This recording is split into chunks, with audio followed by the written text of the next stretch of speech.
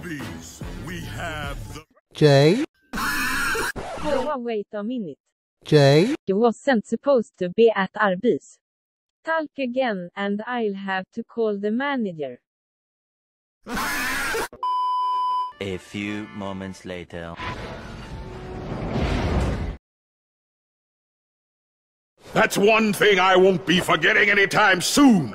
It's the last thing I remember, and it's the only thing I'll remember until I teach Eddie Van Halen not to mess with. I was talking to the Voi buffalo. Wilkin Suril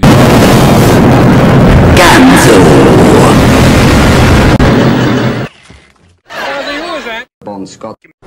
Why do you keep saying that Arby's has barnscott?